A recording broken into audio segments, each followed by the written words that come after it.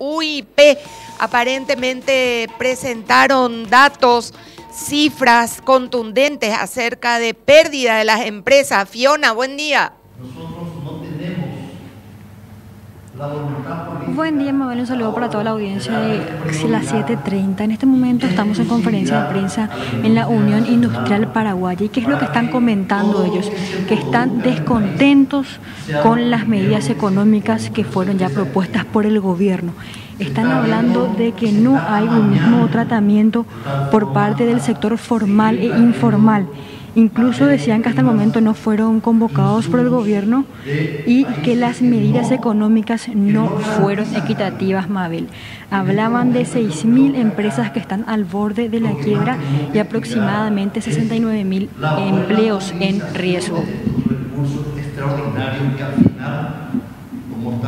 Fiona, ¿quién es el que está haciendo uso de la palabra ahora mismo?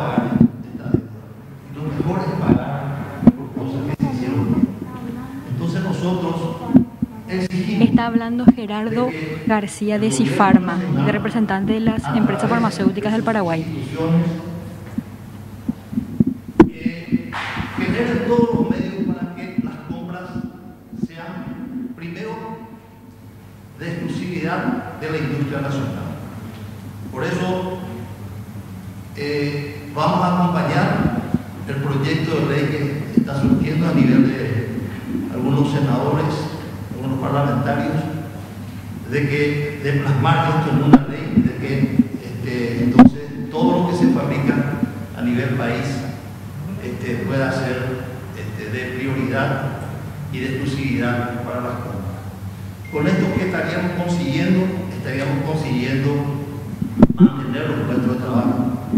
Nosotros sabemos, y somos como industria farmacéutica, sabemos que por más que uno esté trabajando el trabajo también se hace a media. Nadie produce lo que producía antes de la pandemia por las restricciones sanitarias.